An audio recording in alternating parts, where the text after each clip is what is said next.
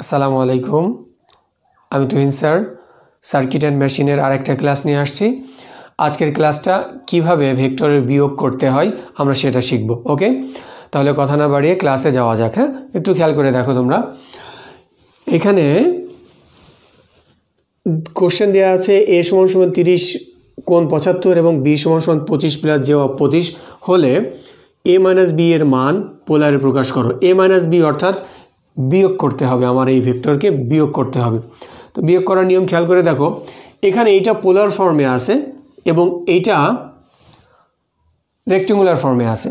তা যেহেতু রেক্টেঙ্গুলার ফর্মে আছে, এইটাকে আমার কনভার্ট করার দরকার নাই, কিন্তু এইটাকে আমার এখন কনভার্ট করতে হবে। তো যেহেতু কনভার্ট করতে হবে, আমরা কনভার্ট করে নিই। কনভার্ট করার নিয়ম হচ্ছে ওটাকে বসালাম, বসানোর পরে সেই সূত্র অনুসারে ওই মানটা বসল তিরিশ কজ কোণের মান প্লাস জেওয়াব তিরিশ সাইন কোণের মান। বসিয়ে ক্যালকুলেশন করলে, অর্থাৎ ক্যালকুলেটারে দেখে নিলেই এই মানটা পেয়ে যাব আমরা। যখন এই মানটা পাবো, এই মানটা পাওয়ার পর আমি দুইটারই রেক্টিঙ্গুলার মান পেয়ে গিয়েছি, এখন আমি সহজেই বিয়োগ করতে পারব। A minus B equal to এর মান পেয়েছি এইটা, এটা সম্পূর্ণ বসিয়ে দিলাম, এই যে এখান থেকে এতটুকু এর মান বসিয়ে দিলাম মাইনাস চিহ্ন বির মান হচ্ছে এইটা এটা বসিয়ে দিলাম। যখন এই দুইটা হয়ে গেল এরপর সাধারণত এর মানটা বসে যাবে এই পর্যন্ত। বসার পরে মাইনাস মাইনাস প্লাসে মাইনাস পঁচিশ, আবার মাইনাস প্লাসে মাইনাস যে অফ টোয়েন্টি ফাইভ বসালাম। এরপর আমি ক্যালকুলেশনে অর্থাৎ ক্যালকুলেটর দিয়ে যোগ বিয়োগ করলে হয়ে যাবে। মাইনাস পঁচিশ আছে, এখানে plus seven point seven six four আছে।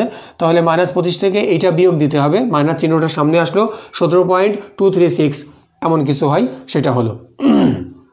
ওকে সতেরো সতেরো পয়েন্ট টু থ্রি সিক্স কেমন হলো এখানে? পঁচিশ থেকে, না, এখানে সেভেন সিক্স ফোরই থাকবে, যেহেতু এটা পুরো মান। ইয়েস এখানে এরা একটু ভুল করেছে। আমি বই থেকে ডাইরেক্ট তুলেছি তো, তাহলে এখানে এই মানটাই থাকল। বিষয়টা হচ্ছে এই, মান এখানে যাই হোক, মূল প্রসেসটা তোমরা খেয়াল করো, মূল প্রসেসটা যদি খেয়াল রাখো, তাহলে হয়ে যাবে। তুমি ক্যালকুলেশন করে যেটা পাবা ওইটাই, কিন্তু প্রসেসটা খেয়াল রাখতে হবে যে আমার প্রসেস এই। প্রসেসটা জানলে যে কোনোই মান দিক না কেন, তুমি অঙ্ক করতে পারবে। খেয়াল করে দেখো, এই মানটা বসল এরপর যে অপারেটরের সাথেরটা তো মাইনাস পঁচিশ আছে, এখানে প্লাস আঠাশ আছে। তাহলে প্লাস চিহ্নটা নিলাম, এটা বড়। তাহলে আঠাশ পয়েন্ট আটানব্বই থেকে পঁচিশ বাদ দিলে তিন পয়েন্ট আটানব্বই থাকে, এটা থাকল। এটা থাকার পর বলেছি কি পোলার ফর্মে প্রকাশ করো। তোমাদের বেশিরভাগই ওরা চাইবে যে যোগ করার পর বলবে যে পোলার ফর্মে প্রকাশ করো, অথবা বিয়োগ করার পর বলবে পোলার ফর্মে প্রকাশ করো, অথবা বলতে পারে গুণ করার পর অথবা ভাগ করার পর এরকম। সাধারণত দেখা যায় যোগ বিয়োগই বেশি দেয়, কিন্তু অনেক সময় গুণ অথবা ভাগও দিতে পারে। তো এই ক্ষেত্রে খেয়াল করো, পোলার ফর্মে A minus B equal to সূত্রটা কী ছিল?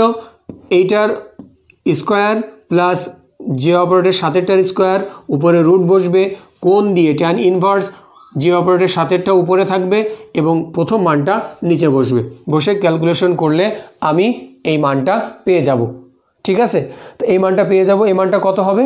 ক্যালকুলেশন করলেই এই মানটা পাওয়া যাবে। তোমাদের জন্য রাখলাম। এই ক্যালকুলেশন তোমরা নিজে করবা। নিজে করে দেখবা যে কত আসে। আর ইনশাল্লাহ আমি নেক্সট টাইমে ভিডিও দিয়ে দিব কীভাবে ক্যালকুলেটরে মান বের করতে হয়। ধন্যবাদ জানাচ্ছি আমার ক্লাস দেখার জন্য। আসসালামু আলাইকুম ওরহমতুল্লাহি ওবরাকাতু